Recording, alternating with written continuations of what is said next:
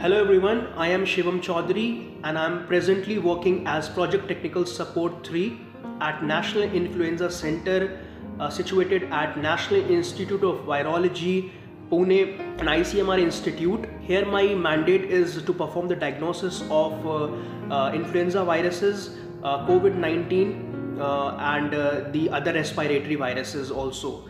I'm also engaged in some of the projects which are funded by ICMR. I did my undergraduation from Sam Higginbotham University of Agriculture, Technology and Sciences, from Jacob Institute of Biotechnology and Bioengineering, uh, Department of Industrial Microbiology.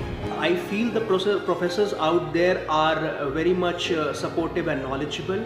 Their expertise helped me to gain deep insights of the research and help me to develop my research perspective. I therefore uh, encourage you all to join the master's as well as the bachelor's program offered at the Department of Industrial Microbiology, SHUATS. Admissions are open now for the undergraduate and postgraduate programs of microbiology. Apply today and turn your passion for science into a purpose-driven career.